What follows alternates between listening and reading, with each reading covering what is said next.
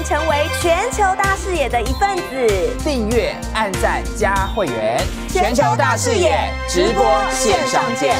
北京的世界论坛怎么会变成战场呢？谁跟谁在大战呢？好，首先今天我们特别关注到的是俄罗斯的驻华大使。等一下呢，我会帮大家做完整的分析，他到底是谁呢？好，这场论坛参加的有谁呢？美国、英国。法国跟俄罗斯的驻华大使在七月四号呢，他们出席了北京清华大学主办的一场叫做“世界和平”。论坛的一场演讲，那虽然说里面有“和平”两个字，但在现场大家听的是觉得火药味十足啊。那美英法的大使呢，先当着俄罗斯大使的面批评说，俄罗斯入侵乌克兰跟之前一样口径一致，跟着美国方向走。那美国国大使伯恩斯啊，更是直言说，那大陆不应该散播。俄罗斯方的宣传，那对此呢，大陆外交部发言人赵立坚也回呛说，一贯散布假讯息跟谎言的都是美方有关的官员，并非是陆方。那么俄罗斯的驻华大使等于是一挡三，也可以说是一打三啦。他也做出了很多俄罗斯的陈述，包含有很多的假消息都是来自西方，有很多是西方世界的双重标准，不能全。不把世界的混乱怪到俄罗斯身上，怪到中国大陆身上。俄罗斯的驻华大使呢，他也引用了毛泽东毛主席的话，他强调说，所有的事情都有两面，大家不能光看一一面而已，应该要看到事情的另一面。美国驻华大使伯恩斯和俄国驻华大使杰尼索夫在论坛开始前先友好的握手打招呼，没想到几分钟后，两人直接正面交锋。The fact that Russia crossed the border with an armed force, unprovoked, and has started this war with so much human suffering, so many innocent civilians dead in Ukraine. This is a direct violation of the United Nations Charter.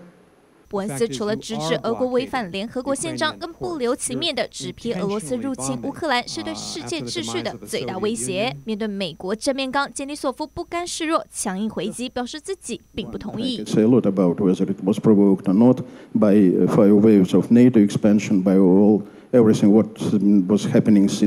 2014. 杰尼索夫当场反驳，更批在联合国的破坏下，当前世界正处在深渊边缘。不过，一旁的英国驻华大使吴若兰和法国驻华大使紧接猛攻。The deliberate choice by Russia to attack Ukraine contravenes all the commitments made by the Russian authorities. 在美英法三国驻华大使围攻杰尼索夫火光四射之余，美国人不忘批评大陆，要大陆外交部发言人不要再提有关美国生物实验室的谎言，因为乌克兰境内并不存在这样的实验室。一贯散布虚假信息和谎言的是美方的有关的官员，不是中方。中方始终从乌克兰问题的历史经纬。和是非曲直出发。面对美方指控，赵立坚表示，陆方是根据事实说话，美国有责任给世人一个交代。另外，韩国新任总统尹锡悦日前参加北约峰会后，官方表态，韩国通过大陆实现出口经济繁荣的时代已经结束。此话一出，引发大陆官媒不满。针对此事，大陆资深媒体人曹鑫在《金融时报》中警告，韩国不要过度依赖的思维很正常，但如果要参与部分国家对大陆的围堵，那么中韩关系至东北亚必将地动山摇。记者夏海宇报道。道。好，我们刚刚看到的是北京举行的这个世界和平论坛呢，发生了这个火药味十足的这一幕。我们看到了今天的焦点呢，很多人在关注啊，俄罗斯的驻华大使杰尼索夫。好，他一个人呢，面对美国大使、英国大使、法国大使三位来自西方国家的驻华大使的围攻，但是呢，他非常的沉着冷静，一一的回击。好，首先呢，啊，这些西方国家啊，就这个乌克兰危机啊，对俄罗斯指责。好，但是他说呢。西方有关俄乌战争有太多虚假的假新闻，比如说乌克兰跟科索沃的国际问题就存在明显的双重标准。他同时在会议当中啊，他就提到了，他说呢，引用毛主席的话，那就是所有的事情都有两面，请让我们看到事情的另一面。好，大家都在听他说，在这场论坛上呢，好，最抢眼的就是他了。好，杰尼索夫他到底是谁呢？告诉各位，他的中文非常非常的好，他是众所皆知呢，亲和力十足的大使，而且呢，他担任驻华大使从二零一三年开始至今，他都是驻华大使。就在今年六月十号，在俄罗斯国庆招待会之后呢，他还接受了。媒体的独家专访，当时候他就引用唐诗《哈咸阳城东楼》里面的一句，叫做“山雨欲来风满楼”。好，华人一定非常了解哈，山雨。要来之前，好，这个楼里面呢，可以感受到这个呃大风吹袭啊，表示呢感受到什么呢？它用来形容的是国际情势。那这也是呢，呃，这位大使啊，在乌俄危机之后呢，第一次啊接受中文媒体的采访，而且整段采访当中，据记者描述呢，他坚持哦，他全程呢用中文来回复。他表示呢，俄中关系不论遭遇到怎么样的困难，都将保持着。快速的发展，他也提到哦，有关于外媒不断的报道说中国大陆向俄罗斯提供武器装备，好，这位大使直接回击，他说这通通都是假消息。杰尼索夫呢，他也特别提到了一个论点哦，他说呢。不但是像中国，像别的国家也是很重要的一课哦。他在分析现在的西方国家是怎么跟其他国家做朋友。他提到哦，我们可以看到美国跟别的西方国家就是称霸的国家。如果呢有别的国家推动自己的政策超越了他们，他们呢就会用各种的方法限制它的发展。他形容俄罗斯。跟中国面临美国所提出的俄罗斯威胁跟中国威胁论，就是这样一个道理。好，那他到底是谁呢？好，如此的有智慧，他是著名的中国通杰尼索夫呢。一九五二年出生，他已经是七十岁的外交老将了。根据了解呢，他是从十八岁的时候就开始学中文。一九七三年，他第一次到了中国，曾经呢在中国也工作了多年。二零一三年开始担任驻华。大使啊，他自称说他是老北京人啊。二零一三年开始担任大使之后呢，大家对他啊就开始比较熟悉了。他也曾经自我介绍，他说呢，他是生于乌克兰的，在一九七四年呢。他是毕业于莫斯科，他就是本科出身，他学的就是国际关系。那杰尼索夫呢，不止英文很好，他的中文也非常非常的流利。好，毕竟他都能够引用唐诗了。再来呢，杰尼索夫啊，他是一九七三年到一九七四年呢，他是在苏联驻华商务代表处担任翻译。到了一九九二年呢，开始进入俄罗斯的外交部，好系统开始服务。那么在两千年的时候呢，他还曾经出任俄罗斯的驻埃。级大使，零四年的时候呢，出任俄罗斯的常驻联合国代表。在二零零六年的时候，是一个大转变。当时他改任俄罗斯的外交部第一副部长。到了二零一三年，被任命为俄罗斯的驻华大使。那么在今年初啊，有这么一个字，让大家觉得哇，太复杂了吧？但是这个字呢，居然是杰尼索夫说他要用来形容。二零二一年的代表字，这个字怎么念呢？啊，甚至很多华人可能这个字看都没看过，非常的难写。没错，它是非常有名的生僻字之一啊。这个字呢叫做“变”，那么它指称呢，这就是形容现在世界局势的啊。纷繁复杂，好，一般大家说的变，可能就会写就是变化的变，但是他用了这个生僻字啊，也让大家感受到，哇，这位大使呢对这个汉字的了解啊，啊，真的不是一般而已。杰尼索夫也提到了，他说国际形势如何的变呢？他说呢，就是越来越复杂。那这跟俄罗斯同美国、俄罗斯同欧洲。关系持续恶化有关。他说，中国当前对美对欧关系一样面临的困难，但是他提到这责任不在中国跟俄罗斯两国的身上。好，再来呢，我们刚看到了有关他的背景啊，以及呢他的这个呃对华的一些态度还有目标，我们带大家来看，那现在的中国大陆对世界是如何来看待呢？这是七月四号，大陆国家主席习近平呢向全球发展。共同使命与行动价值，他有发表了论坛的一封致贺信。那么在这信件当中呢，习近平很明白的点出了中国的方向：中国愿与各国一同推动将发展置于国际优先议程。那习近平主要是强调，他说呢。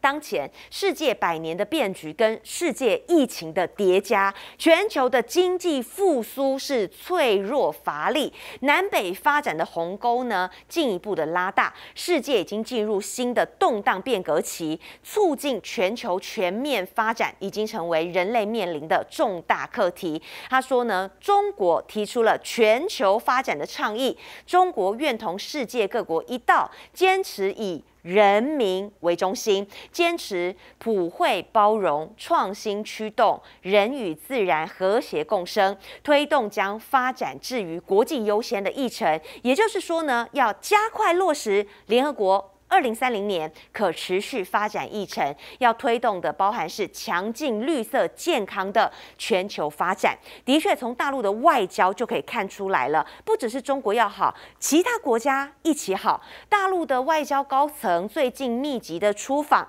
像是杨洁篪，他去了中东、非洲，六月二十九号到七月四号，他应邀出访了巴基斯坦、阿联酋、新巴威、莫桑比克等四个国家。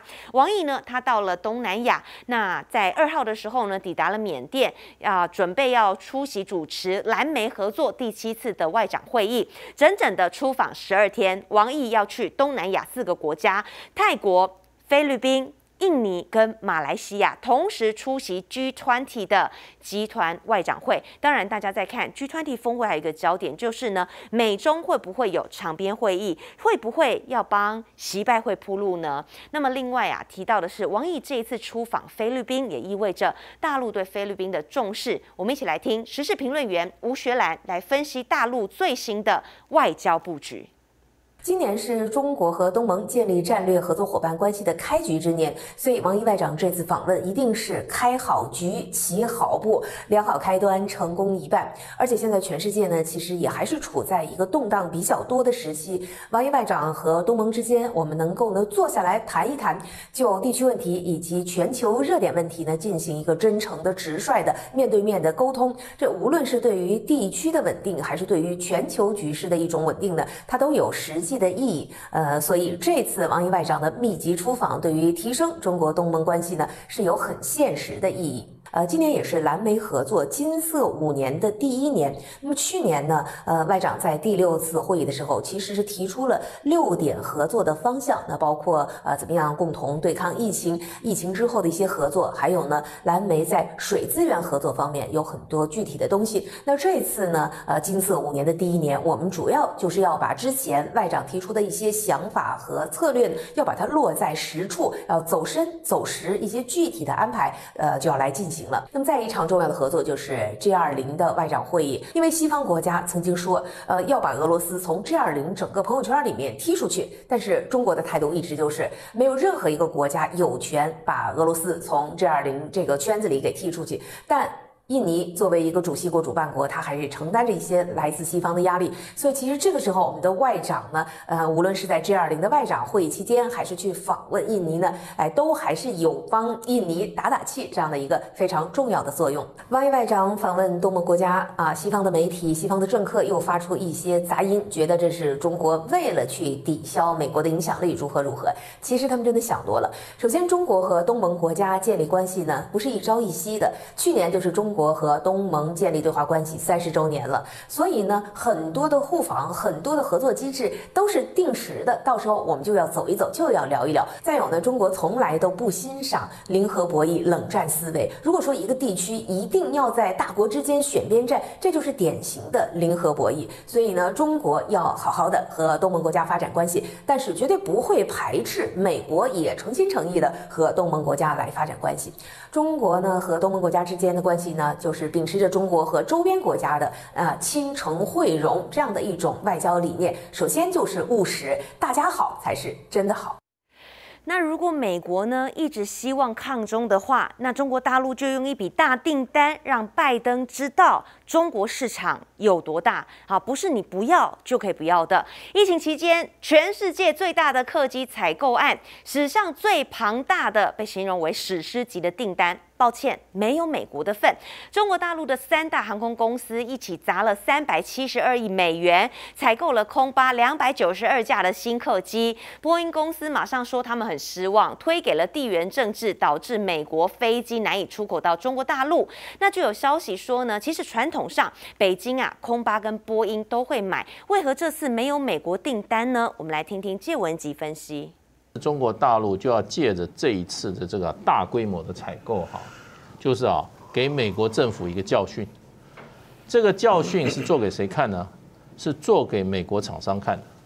也就是说，你们这个政府基本上他对我们的政策错了。本来我可以买你的，可是你们这个政府对我非常不友善，所以啊，虽然你的产品不错，我也不买了。所以就告诉美国这些所有的做中国大陆生意的厂商的话，这是一个例子。你们如果不能够回过头来哈，跟你们的政府去游说，告诉他你这个地缘政治的这种哈操弄，你最付出的代价就是我们这些厂商在大陆市场的这种哈被人家怎么被人家被人家赶出这个市场了。嗯哼。那另外一方面，他也是给欧盟一个很好的一个礼物，也就是说，你不要跟着美国一起来怎么样？哦，一起来跟我作对。我，你跟美国一起来跟我作对，美国人能给你三百七十二亿的订单吗？对，你们明明是在在商业上是相互竞争的一个啊一个关系。对你如果跟着美国走，你跟跟跟美国走的话，那对不起，我一样一样一样一样可以做同样对美国的事来对付你。所以我是觉得就是说，基本上啊，这个中国大陆充分利用一个买家的地位。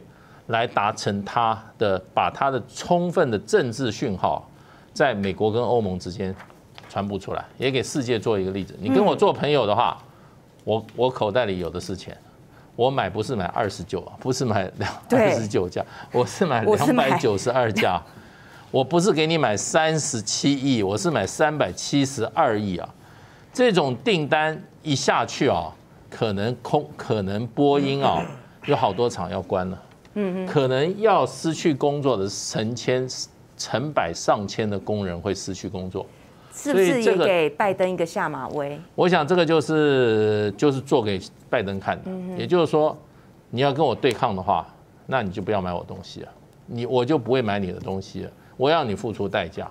因为事实上，我认为中国大陆现在最近他们不是通过了一个很长的一篇文章，对美中关系啊做了一个定调。定调的，我觉得它最主主要的这个调子一定就是说，美国是跟我们对抗，是跟我们搞对抗，回不去了。嗯哼。然后呢，以后就怎么样，明算账，你你踢我一脚，我就回你一脚，没有那么好讲话了。那这个东西，当然当然，你要跟美国做这个对抗，你手上要有筹码。这次他就展现一个筹码，我这个筹码不大了，三百七十二亿美金。然后呢，足以让你波音产生极大的哈影响。波音最高的时候啊，百分之二十的货，也就是说，它五架飞机有一架是卖给中国市场，它最近已经跌到百分之五以外了。那就是说，它它总产总销售量已经少了十五趴了。也就是说，曾经中国大陆也买很多美国的波音，但我现在不买了。现在不买了，而且想与病毒共存的话，当然要必须要配套啊。所以呢，用旺旺水神来防疫，有效能够保护您、保护自己、保护家人。防疫不能等，请赶快上快点购。买的时候记得呢，输入呢秀秀的推荐代码 CTI 六六六 CTI 六六六，希望大家做好防疫。